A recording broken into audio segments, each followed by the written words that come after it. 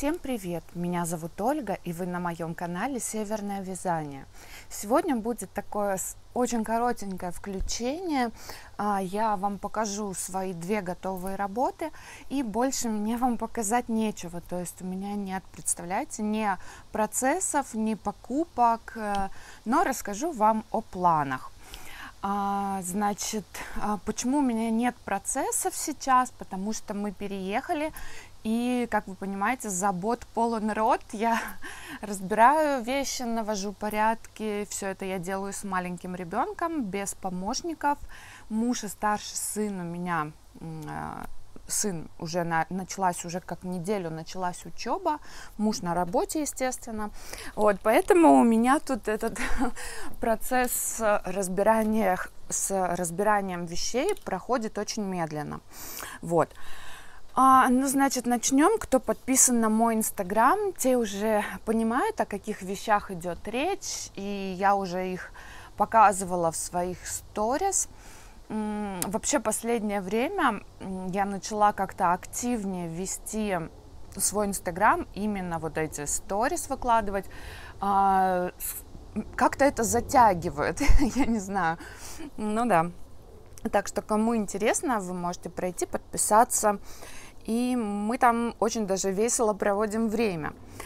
Так, значит, первый мой а, джемпер готовый. Это ромбы. Это джемпер вот с этими ромбами, с крупными ромбами. В общем, не знаю, как его обозвать.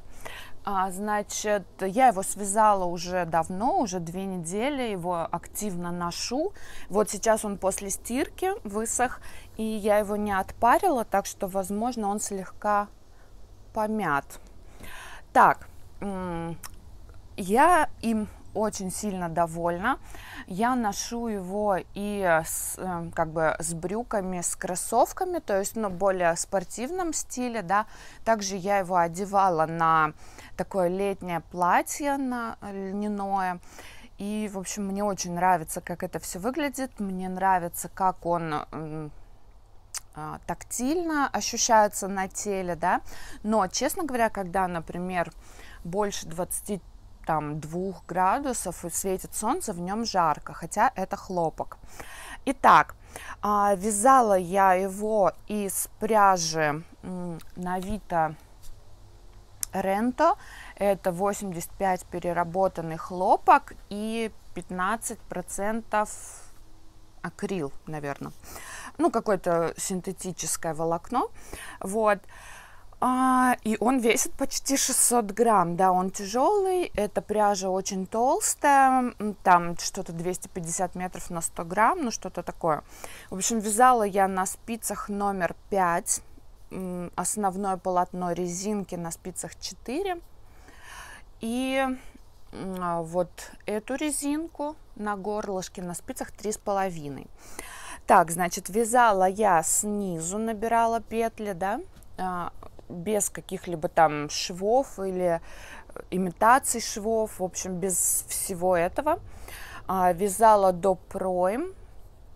Дальше я разделила на перед и спинку, потом делала скосы плеча, вывязывала небольшие углубления на а, горловине и на спинке тоже, да, Соответственно, потом я, когда уже сшила вот эти вот плечевые швы, швы я, кстати, сшивала не как бы от, не на открытых петлях, я просто сшивала обычно иголочкой. А, ну, потому что это очень тяжелая ну, вещь, и, конечно же, нужно что-то, что будет это брать на себя, этот вес. А потом я набирала петли по горловине, вязала резинку, закрыла и пришила ее э, такими маленькими стежками, пришила ее к изнанке. Вот. Вот такая получилась обработка. Но в последнее время мне она очень сильно импонирует. Вот такой вот двойной как бы в подгиб, да, а, были сомнения, как вязать рукава. То есть я говорила, что не знаю, то ли лицевой гладью, то ли как их вязать, но нет, мне кажется, лицевая как-то рукава из лицевой глади связаны, были бы как-то немножко не в тему. И поэтому я просто набрала по пройме петли. Сначала была мысль вязать э, как бы обратно поворотными рядами со швом, чтобы делать убавки. Я, в принципе, так и начала там делать, но что-то потом, ну, это такой вот свободный как бы ну, оверсайз, да, скорее всего, а, свитеры, вот эти вот такие а, рукава, такие правильные, знаете, которые на сужение идут, они как-то не были по стилю, что ли, не знаю даже, как это, как это объяснить. И, в общем, я решила связать просто прямой рукав, без каких-либо убавок. И вот закончить это все манжетом, то есть не собирать их там как-то, да, в фонарик, а вот просто закончить их прямо манжетом. И это было мое лучшее решение. Мне очень нравится. Рукава действительно длинные. Так вот закрывают. А, в общем, я не знаю, я очень довольна этой работой. Да, она тяжелая, она сохнет долго, где-то два дня. А, но это если не включить подогрев пол, пола. Если включить подогрев пола, тогда, конечно, быстрее. А, вот. Ну, в общем, Нравится мне эта вещь, и я ее очень активно ношу, тем более последние две недели у нас погода очень способствует. Как-то у нас пришла осень неожиданно. А, да. А, ну, я думаю, что вы ее на мне увидите еще не раз. Потому что, ну, мне нравится, как она на мне сидит, как она мне к лицу, и это было такое открытие, да, что этот цвет хаки мне вообще-то идет. Да, вот такое открытие я для себя сделала. Вот. Мастер-класса не будет, к сожалению, потому что, честно говоря, я даже записей никаких не делала, потому что изначально я не собиралась снимать мастер-класс, я вообще не знала, что это будет. То есть я вязала как бы на бум. Вот надо было мне срочно начать именно вот с этим узором. И я начала. А, но вдохновившись моими вот этими ромбами, моими начинаниями, Оля Сережина с, э, тоже связала такой джемперок, но у нее там горловина обработана по-другому, вот, и даже цвета такого же, вот, и, в общем, она сняла экспресс-мастер-класс, как я понимаю, э, я, честно говоря, еще не смотрела, э, но, в общем, я оставлю вам ссылку на канал Оли. Вы можете пройти, посмотреть это видео, мастер-класс, как она вязала почти, ну, похожий джемпер. Вот. В общем, это первая готовая работа, которой я довольна и где я ничего не испортила. Так, вторая готовая работа, ну, в общем, а, эту историю я рассказывала опять же в Инстаграм в сторис. Это мой, мой должен был быть большой-большой свитер оверсайз. Но я его так и связала, честно говоря. А, он был у меня практически до колена. У меня даже была мысль распустить, потому что а, я боялась, что он после стирки или в процессе носки он как-нибудь вытянется и будет ну, закроет колено, тогда это уже не свитер, а тогда это уже платье. А я хотела именно свитер. И у меня, да, была такая шальная мысль распустить сантиметров 10. Слава богу, я этого не сделала. А, вот. Ну, в общем, он был очень длинный, но рукава были вот такие. Ну, то есть это, по моему мнению, есть такой, знаете, уютный свитер когда он длинный, очень-очень широкий и с длинными-длинными рукавами.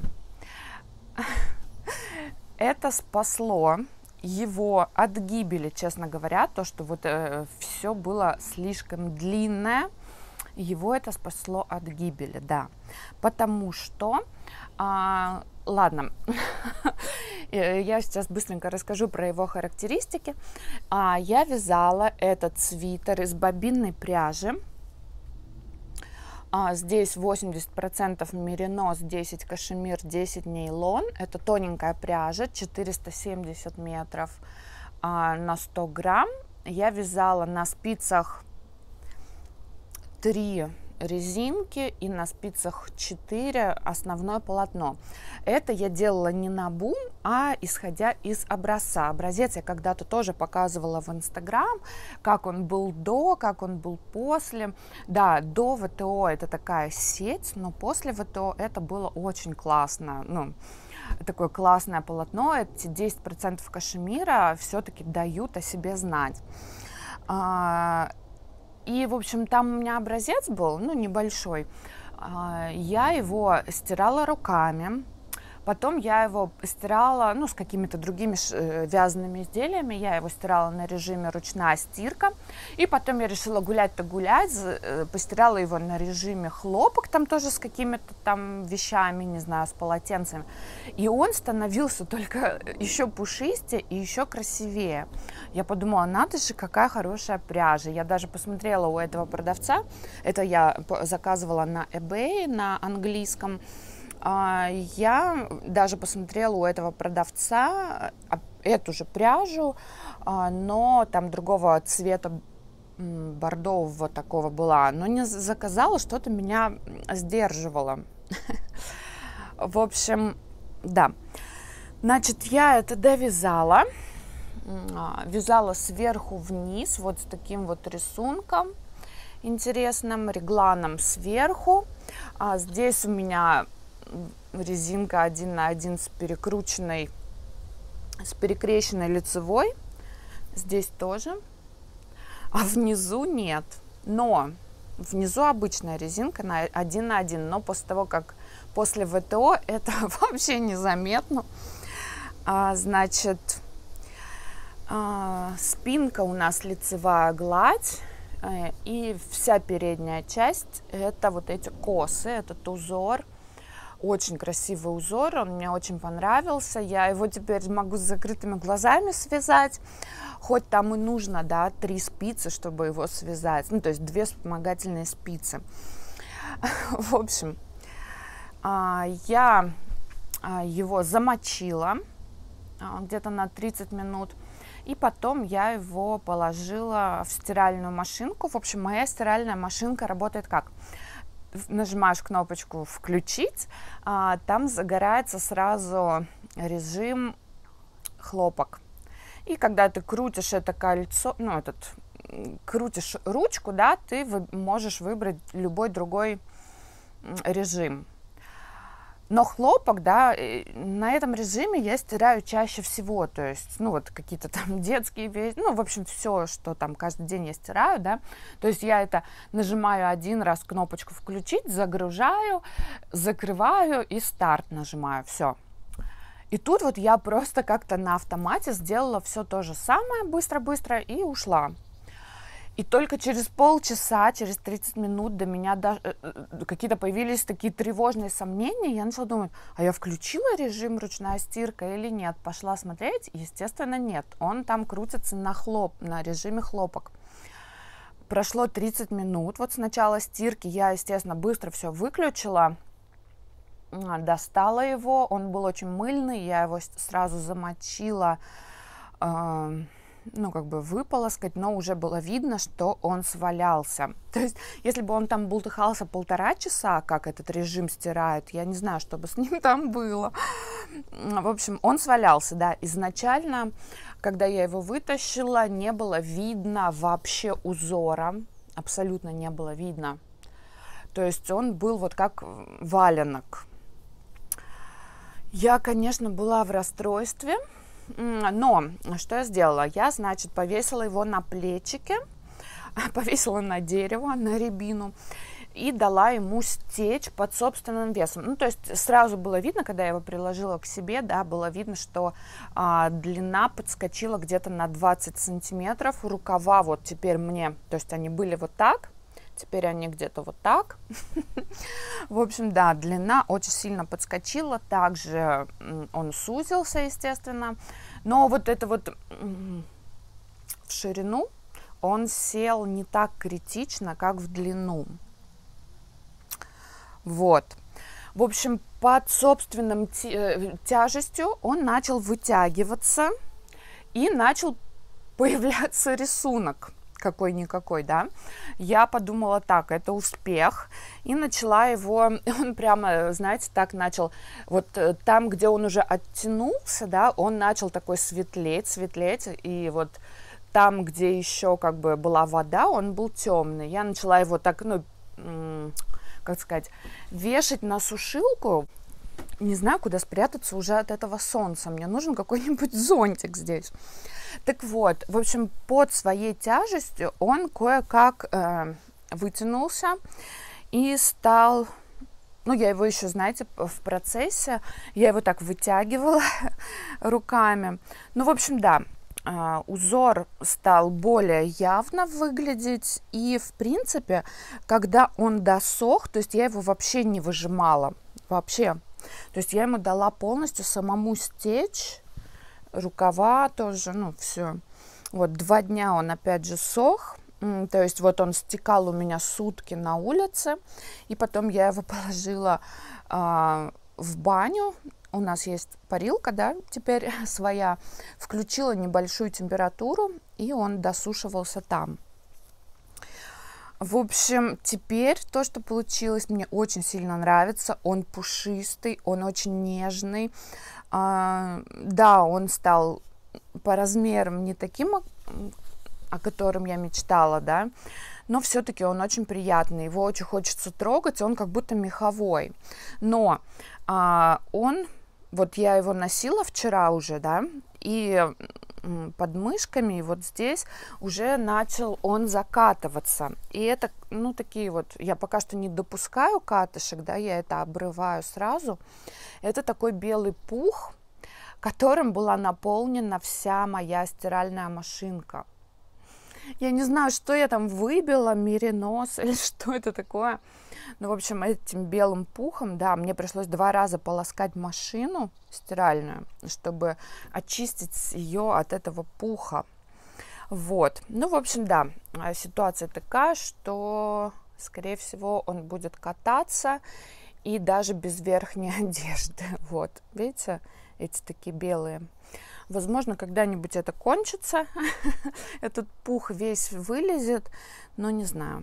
В общем, на ощупь эта вещь очень приятная. Кстати, кстати говоря, а, на мне она сидит, ну, могло бы быть и лучше, могло бы быть и свободнее, но что есть, то есть. Он весит всего 375 грамм, представляете? Я вам говорила, что я хочу довязать, вывязать всю бобину. У меня бобина, как уверял продавец, 500 грамм, но вероятно меньше. Вероятно, он думал 500 грамм вместе с конусом вес. Ну ладно. В общем, да, этот э, свитер весит всего 375 грамм, да. На минуточку, вот этот типа летний, из хлопка весит 600 грамм. То есть почти в два раза разница. И вот у меня остался такой моток, он весит 80 грамм, 77, если быть точной. И в принципе, я думаю, мне бы даже хватило на какой-то джемпер для Тимура, но нет, наверное, я не буду вязать, оставлю это для а, каких-то подкладов, для шапок, что-нибудь такое а, потому что э, ко мне идет посылка с пряжей, и там будет пряжа, которую я именно выбирала, выбирала на свитер, водолазку, я не знаю, чем разница свитер с горлом и водолазка с горлом, да.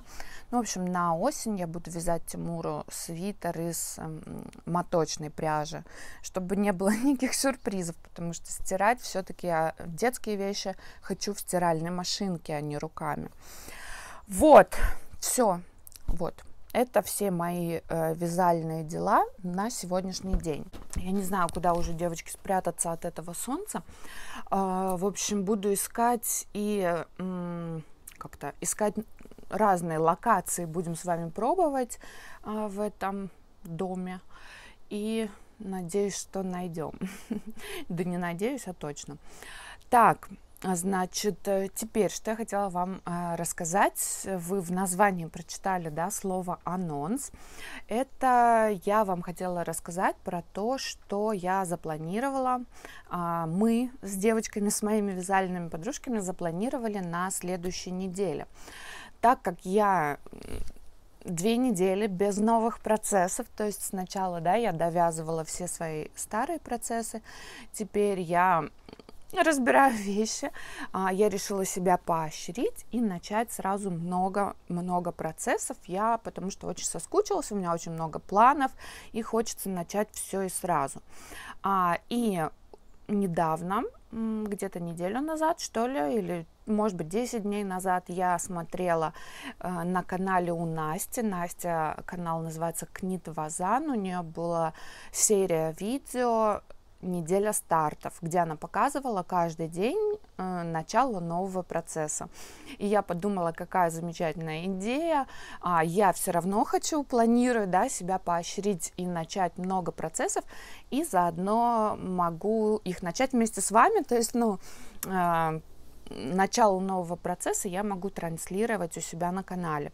А также мои вязальные подружки, с кем мы общаемся каждый день, а, поддержали меня и решили присоединиться. Да, так что я буду не одна. А, Алина, канал Алина вяжет, Анечка, а потом Анита Нит также Ира Ирчикбай, Бота, Зефирное кружево, а, они также решили присоединиться, и мы для вас а, на следующей неделе предлагаем посмотреть наши недели стартов. А, каждый рабочий день, 5 дней в неделю, 5 рабочих дней мы будем начинать какой-то новый процесс и показывать его вам. Видео будут выходить ближе к вечеру, ну, то есть потому что, чтобы у нас было время, да, начать этот процесс, снять видео, смонтировать, загрузить. Видео, конечно же, будут, э, скорее всего, не очень длинными, но мне лично очень интересно. Я, например, хоть мы с девочками общаемся, да, а, я понятия не имею, кто и что будет начинать. Абсолютно. Поэтому мне очень интересно. А, также Возможно, это будет интересно вам. Сейчас осень, то есть лето, огороды кончаются, и а, вязальная пора возвращается. И опять же, осень на носу, надо вязать какие-то а, себе, детям, семье своей, да, теплые вещи. Вот, то есть, возможно, вас что-то вдохновит, какая-то идея понравится. Ну, в общем, какая-то была тут летняя спячка на ютубе, на вязальном. Но это понятно, да, что лето это не сезон. Вот. И мы решили как-то поактивничать, вот. Так что ссылки на всех девочек я оставлю внизу, подписывайтесь на них, чтобы не пропустить их э, неделю стартов, вот. А, значит, да, так что э, все девочки, кто мне писал, что Оля, где видео, почему нет видео, а, мне очень приятна ваша забота, это очень трогательно, правда. И э, я боюсь, что на следующей неделе я вам надоем. То есть 5 видео со стартами выйдет, и плюс в субботу я подведу итог этой недели, покажу, что на каком этапе, и что я вообще обо всем этом думаю. Вот. А, также ко мне идет посылка с пряжей. А, пряжу я выбирала с таким расчетом, да, ну вот прям не просто я вот хочу вот эту, хочу вот эту, я выбирала на конкретные процессы, вот, так что когда придет посылочка, мы с вами это все посмотрим, и я вам расскажу о своих еще дальнейших планах на осень, да, на вязание. Та, э, там придет пряжа, которую я так мечтала попробовать уже давно, но ее нет то есть у меня ее нет в доступе вообще ни в Эстонии, ни в Финляндии, только заказывать, если из России покупать, но там тогда доставка очень дорогая. Вот, а сейчас мне подвернулась такая возможность э, попробовать эту пряжу, я очень рада и очень а, а, сгораю от нетерпения. ну, в общем, ладно. А, это вы все, конечно же, увидите. Также я мечтаю снять э, несколько мастер-классов для детей и для взрослых э, на аксессуары и на плечевые изделия тоже, но не буду загадывать, да, пусть все идет своим чередом. Вот. Всем желаю теплого солнечного августа. Желаю, чтобы вязальное вдохновение и желание к нам ко всем вернулось. А, жаркое лето идет на убыль. И скоро, совсем скоро нас ждут моя любимая пора, осень, чай, свечи, вязание, дождь. Обожаю, обожаю это время. Вот, а, значит, э, увидимся с вами на следующей неделе. И сегодня это все. Пока.